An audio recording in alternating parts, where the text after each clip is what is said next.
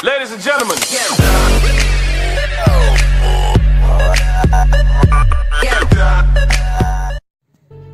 మనం చిన్నప్పుడు పుస్తకాలలో వరల్డ్ వార్ వన్కి కారణం సెర్బియా వరల్డ్ వార్ టూకి కారణం జర్మనీ అని చదువుకున్నాం కానీ ఒకవేళ ఇప్పుడు చైనా కనుక ఇండియాతో యుద్ధం చేయడానికి ముందుకు వస్తే తప్పకుండా అది మూడో ప్రపంచ యుద్ధానికి దారితీస్తుంది ఈ యుద్ధం తర్వాత కనుక మనం బ్రతికే ఉంటే మన పిల్లలు వారి పుస్తకాలలో వరల్డ్ వార్ త్రీకి కారణం చైనా అని చదువుతారు. ఎందుకంటే అటు చైనా ఇటు ఇండియా రెండు కూడా చాలా పెద్ద దేశాలు. ఒకవేళ యుద్ధం కనుక మొదలైతే అది ఖచ్చితంగా ఈ రెండు దేశాలతో అస్సలు ఆగిపోదు. ప్రతి దేశానికి తమ మిత్ర దేశాలు శత్రు దేశాలు ఉంటాయి. వారి మిత్ర దేశాలు వారికి సపోర్ట్ చేస్తే శత్రు దేశాలు అదే అదునుగా భావించి వారి అపోనెంట్కి సపోర్ట్ చేస్తాయి. ఇక థర్డ్ వరల్డ్ వార్ ఎలా స్టార్ట్ అవుతుంది అనే ప్రశ్నకి చాలా సమాధానాలు ఉన్నాయి. ప్రస్తుతం ఇండియా చైనా మధ్య జరుగుతున్న వివాదాలు కేవలం ఒక చిన్న ఉదాహరణ మాత్రమే. చాలా దేశాల మధ్య ఇలాంటి గొడవలు ఉండడం సాధారణం. కానీ చైనాకి ఉన్న కొన్ని దురాశల వల్ల ఈ వార్ స్టార్ట్ అవ్వడానికి యాభై శాతం కారణం చైనానే అవ్వచ్చు.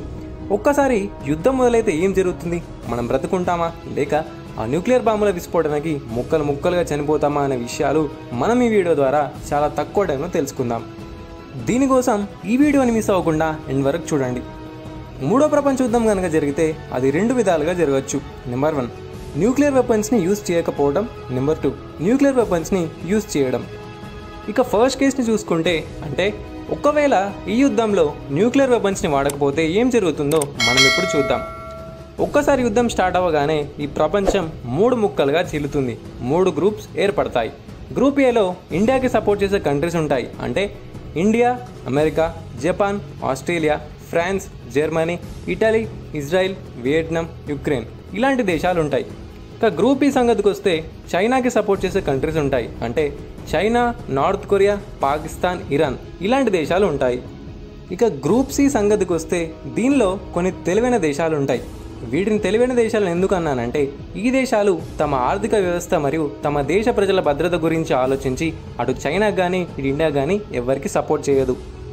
ఇక ఈ గ్రూప్లో ముందు రష్యా ఉంటుంది. ఎందుకంటే రష్యాకి ఇటు ఇండియాతో అటు చైనాతో మంచి ద్వైపాక్షిక సంబంధాలు ఉన్నాయి. పైగా వారు చైనాకి సపోర్ట్ చేస్తే ఇండియా వారి దగ్గర నుండి ఆయుధాలను కొనడం ఆపేస్తుంది. దీనివల్ల వారు కొన్ని వేల కోట్లు నష్టపోతారు. ఒకవేళ వారు ఇండియాకి సపోర్ట్ చేస్తే యుద్ధం అయిపోయాక చైనా నుండి వారికి ముప్పు పొంచి ఉంటుంది. ఎందుకంటే రష్యా చైనాతో నాలుగు వేల రెండు వందల కిలోమీటర్ల బార్డర్ని పంచుకుంటుంది. అందుకే రష్యా ఎవరికి సపోర్ట్ చేయకుండా న్యూట్రల్గా ఉంటుంది. ఇక రష్యాతో పాటుగా ఈ గ్రూప్లో ఈజిప్ట్ స్పెయిన్ లాంటి దేశాలు కూడా ఉంటాయి. సో యుద్ధం రెండు గ్రూపులకు మధ్య మాత్రమే జరుగుతుంది. ఈ రెండు గ్రూపులకు కూడా వారి యొక్క జియోగ్రఫీ చాలా ముఖ్యంగా మారుతుంది. ఈ యుద్ధం జరిగే ముఖ్య ప్రదేశం ఇండియా చైనా బార్డర్ దగ్గర. గ్రూప్ బికి చెందిన దేశాలన్నీ ఈ యుద్ధం జరిగే ప్రదేశానికి చాలా దగ్గరగానే ఉన్నాయి.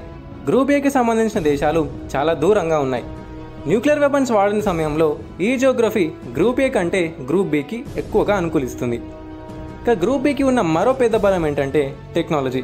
ప్రపంచంలోని సగానికి పైగా హ్యాకర్స్ చైనా మరియు నార్త్ కొరియాలలో ఉన్నారు. వీరిని ఆయా దేశాలు శత్రు దేశాల డిఫెన్స్ సిస్టమ్స్ని హ్యాక్ చేయడానికి ఉపయోగించుకుంటాయి. ఇక అన్ని విభాగాలలో ఆధిపత్యం చెలాయించే గ్రూప్ ఏని ఓడించడానికి గ్రూప్ బి రచించే మాస్టర్ ప్లాన్ ఇదే. కానీ ఇక్కడ ఒక అసలైన ట్విస్ట్ ఏంటంటే ఇలాంటి సిచ్యువేషన్స్లో గ్రూప్ ఏని ఆదుకోవడానికి ఇజ్రాయెల్ ఉంది. ప్రపంచంలోని అత్యాధునికమైన ఇంటెలిజెన్స్ ఇజ్రాయెల్ సొంతం. వారి ఇంటెలిజెన్స్తో గ్రూప్ బి వేసే ప్లాన్స్ అన్ని గ్రూప్ ఏ వారు ఈజీగా తెలుసుకుంటారు. వారు వేసే ప్లాన్స్ అన్ని ముందుగా గ్రూప్ ఏ వాళ్ళకి తెలుస్తున్నాయని గ్రూప్ బి వాళ్ళు ఆశ్చర్యపోతారు. అన్ని దేశాల యుద్ధ విమానాలు ఆకాశంలో చక్కర్లు కొడుతూ ఉంటాయి. ఇండియాకి ఇటు పక్కన ఉన్న ఇరాన్ మరియు పాకిస్తాన్ల సంగతి వాటికి దగ్గరున్న జర్మనీ ఇటలీ ఫ్రాన్స్ దేశాలు చూసుకుంటాయి. ఇక చైనాని కట్టడి చేయడానికి అమెరికా యొక్క యుద్ధ విమానాలు మరియు యుద్ధ నౌకలు ఇండియన్ ఓషన్లోకి ప్రవేశిస్తాయి. నేవీ పరంగా చాలా స్ట్రాంగ్ అయిన ఆస్ట్రేలియా కూడా తమ యుద్ధ నౌకలను చైనా పరిసరాలకు తరలిస్తుంది. జపాన్కి చెందిన సూపర్ జెట్స్ నార్త్ కొరియా చుట్టూ తిరుగుతూ ఉంటాయి. ప్రపంచంలోనే అతిపెద్ద ఎయిర్ ఫోర్స్ని కలిగి ఉన్న America India China France North కొరియాల దేశాల మధ్య యుద్ధం చాలా రసవత్తరంగా సాగుతుంది. కానీ గ్రూప్ ఏలో ఉన్న దేశాల దాటికి గ్రూప్ బి తోకముడుస్తుంది అంటే యుద్ధంలో చైనా నార్త్ కొరియా పాకిస్తాన్లు ఓడిపోతాయి. ఇక ఇదే అదునైన సమయంగా భావించిన అమెరికా ఇరాన్ని మొత్తం ఆక్రమిస్తుంది.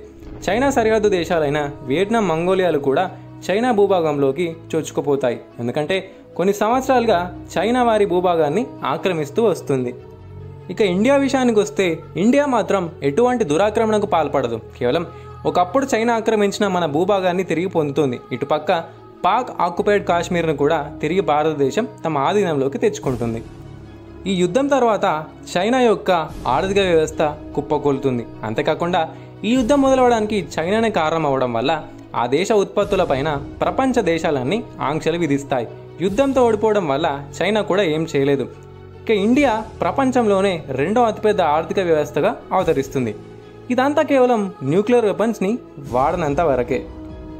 ఇప్పుడు సెకండ్ కేస్ని చూసుకుంటే యుద్ధంలో న్యూక్లియర్ వెపన్స్ని యూజ్ చేస్తే ఏం జరుగుతుందో ఇప్పుడు మనం చూద్దాం.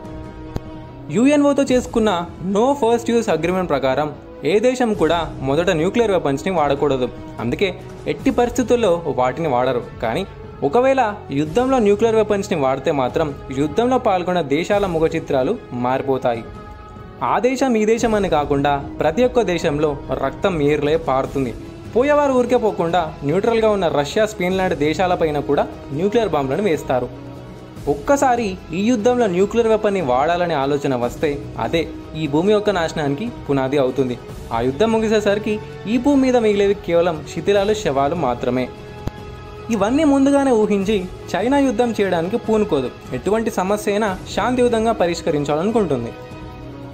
సో ఫ్రెండ్స్ ఇది ఈరోజు మన వీడియో. ఈ వీడియో మీకు నచ్చిందని అనుకుంటున్నాను. వీడియో నచ్చినట్లయితే తప్పకుండా లైక్ చేయండి అండ్ ఫ్రెండ్స్ అండ్ ఫ్యామిలీస్తో షేర్ చేయండి. ఇక మరిన్ని ఇంట్రెస్టింగ్ వీడియోస్తో మీ ముందుకు వస్తాం. అందరూ సైనింగ్ ఆఫ్ జై